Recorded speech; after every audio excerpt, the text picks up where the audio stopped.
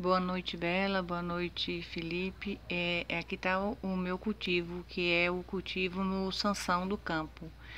Que essa a orquídea ela estava praticamente sem raiz e eu plantei, coloquei uma trouxinha de adubo e logo logo ele já saiu, a raiz já saiu de encontro.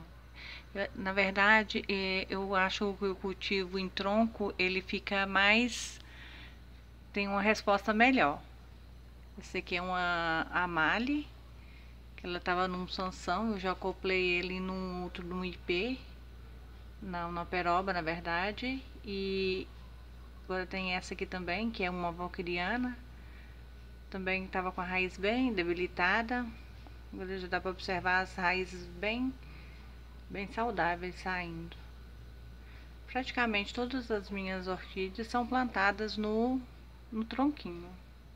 Essa aqui também tá respondendo bem, tava bem debilitada também, que ela ficava num, num vaso plástico com muito com bastante esfagno, aí ela apodreceu a raiz.